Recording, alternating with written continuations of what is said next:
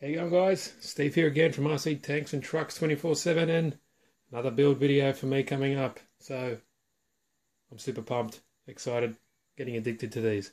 So what we have here is a G-Made Sawback, 110 scale, uh, forward drive kit. Uh, I love these ones because obviously it's like Tamiya, you can you have to put them all together, which uh, I enjoy just as much as driving them. So happy days.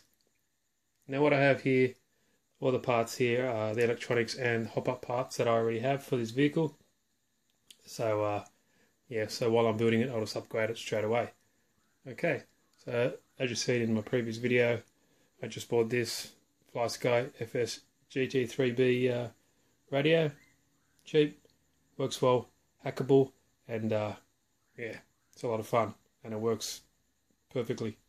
So from a three channel, a few mods you can make it uh, an 8 channel radio. So happy days. Next up, these great quality uh, Savox servos here. Always recommend these. Waterproof and it's plenty uh, strong enough for the smaller tyres for this model. So Savox uh, SW0231MG. Next up, Novak uh, Eager 2S 3S crawler system for brushed uh, motors only. I have this in my Tamiya Mountain Rider. It works fine. Uh, works great actually. It's fully programmable and uh, I, I, I, I recommend them.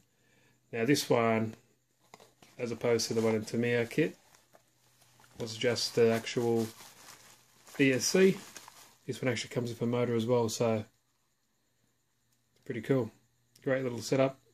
35 turn, which will be great for this kit.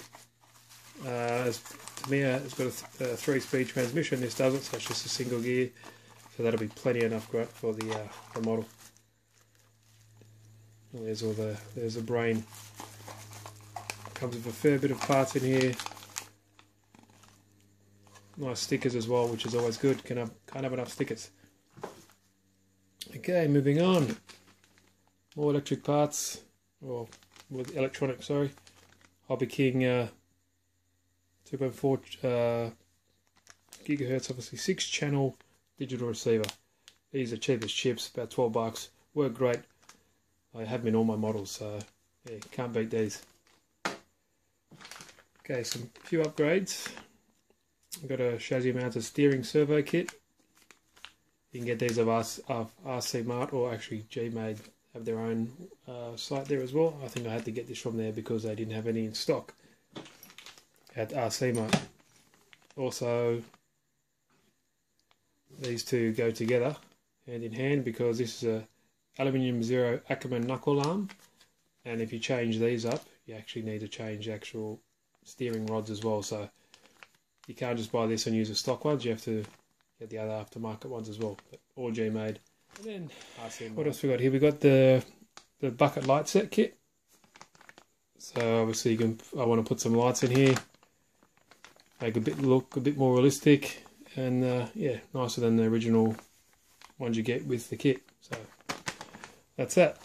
Um, that's pretty much it. What I have so far. So next uh, video I'll start getting into the the manual and have fun. Thanks again, guys. Appreciate support. See you in the next video.